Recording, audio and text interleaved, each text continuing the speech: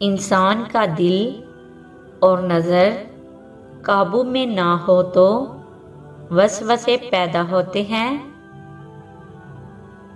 दुनिया के लिए आप एक शख्स हैं, लेकिन अपने घर वालों के लिए आप दुनिया हैं।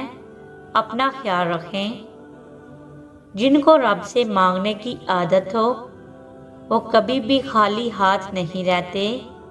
या अल्लाह, अपने सवा किसी का मुताज ना करना।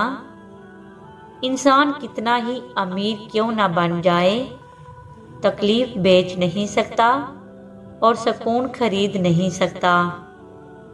अगर सब्र आपके वजूद का हिस्सा नहीं तो शुक्र भी आपके पास नहीं आएगा, क्योंकि शुक्र वहाँ आता है, जहाँ सब्र की जरखेज ज़मीन मौजूद होती है। बोलना सबको आता है। बस किसी का दिमाग बोलता है, किसी का इखलाक बोलता है और किसी की ज़ुबान। ऐसे बनो कि लोग आपके आने का इंतज़ार करें, जाने का नहीं। किसी की असली शख्सियत देखनी हो तो उससे इख्तलाफ करके देख लो। इख्तलाफ शख्सियत का अक्सरे है।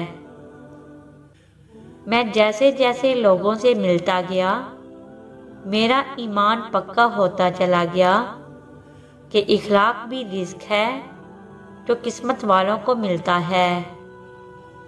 ज़िंदगी में अपनापन तो हर कोई दिखाता है, मगर अपना कौन है, ये सिर्फ़ वक्त बताता है।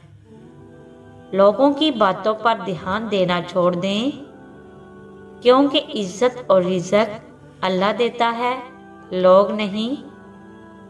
जब दुनिया वाले तुम्हें घुटने टेकने पर मजबूर कर दें तो यही बेहतरीन वक्त है सजदे का।